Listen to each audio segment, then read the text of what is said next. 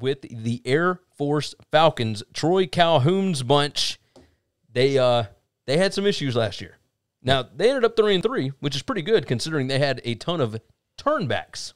You remember those? We we tried to Sure. figure that out last year. The turnbacks were the military opt outs. Now they got several of them back this year, uh, but they are going to be much more experienced than they were. Now their returning production still not great, still whatever, about 110, but they are used to that with military academies. I would say like it just always happens. Win total sits at six and a half. To go over is minus 125. To go under is minus 105. Uh, the projected record from SP Plus and FPI sits at seven and five for both.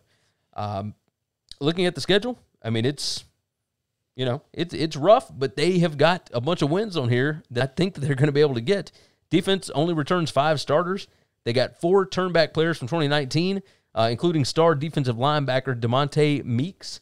Um, and the key is going to be offensive line. Like it, they they lost six dudes, several of which were uh, all conference players. Yeah, I was about to say they weren't just regular guys. They they're they're really good. Yes, they were fantastic. Uh, but Troy Calhoun, even with all of the turnover and whatnot, I mean, they lost quarterback, running back, a couple of offensive linemen last year, all this good stuff, and they were still number five in success rate in the country last year.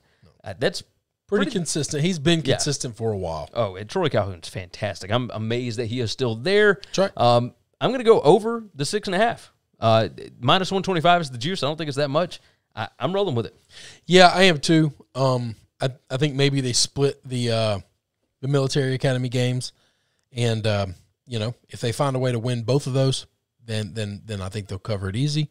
If they find a way to lose both of those, I, I think that's the Could be difference in not covering it. Yes, I, I tend to agree. Uh, they've got at Boise State, uh, against Army, and at Nevada are the three uh, projected losses, and I still think they could win any one of those. I mean, that's that's how crazy this is. Thanks for listening to the Winning Cures Everything podcast. The website is winningcureseverything.com, and if you want to connect with us, we're on Twitter at Gary WCE, at Chris B. Giannini, at Winning Cures, or you can email us, Gary at winningcureseverything.com or Chris at winningcureseverything.com. Subscribe everywhere you need to subscribe, and we'll see you soon.